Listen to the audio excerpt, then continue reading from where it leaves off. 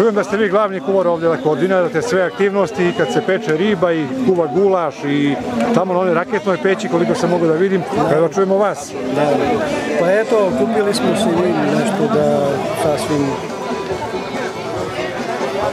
da pokažete svoje umeće, tako? Pa dobro, nije to, to, to za prestiž i za tako, čisto da se družimo i eto da napravimo neko djelo sa prirodnim začinima, da ima u prirodi da ono što po marketima ima, da to sve, sve nije ni korisno. Ni za ljudski organizam, a naravno da nije... Saša je bio malo tajnovito ovako, ili ima tu neke posebne tajne kad vi to se spremate, jel?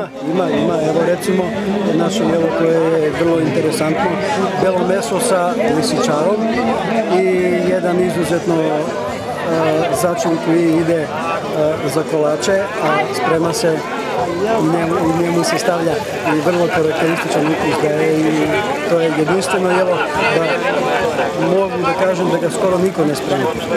Ali taj recept postoji.